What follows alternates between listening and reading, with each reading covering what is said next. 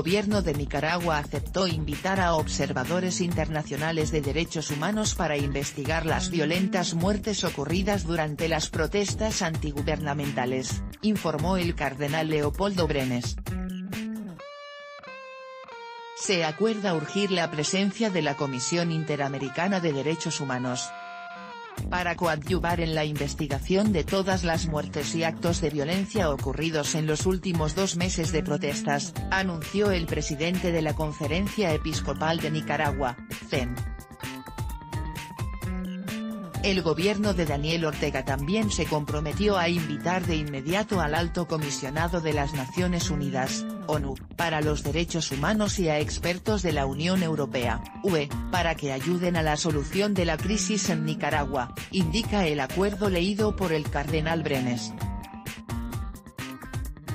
Las partes estimaron además importante la presencia inmediata de la Secretaría General de la Organización de Estados Americanos, OEA, en este esfuerzo.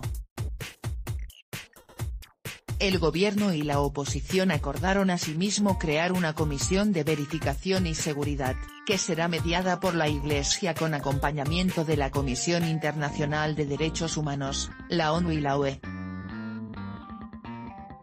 La comisión tendrá la función de trabajar en el desarrollo de un ambiente de paz y en un plan para la remoción de los bloqueos que los manifestantes opositores mantienen en las carreteras desde hace días y que han paralizado a varias ciudades. La mesa de diálogo hace un llamado al cese de todo tipo de violencia y amenazas venga de donde venga, instaron los obispos en el comunicado. El acuerdo fue alcanzado después de varias horas de negociaciones, tras reanudar este viernes el diálogo entre el gobierno y la alianza opositora en medio de una fuerte represión contra las protestas antigubernamentales. Al menos 170 personas han muerto desde que estallaron las protestas contra el gobierno de Ortega el 18 de abril, según el Centro Nicaragüense de Derechos Humanos, CENIT.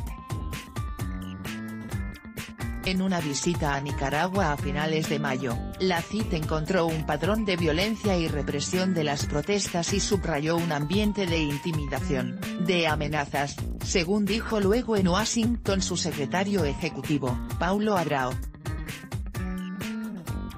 Lo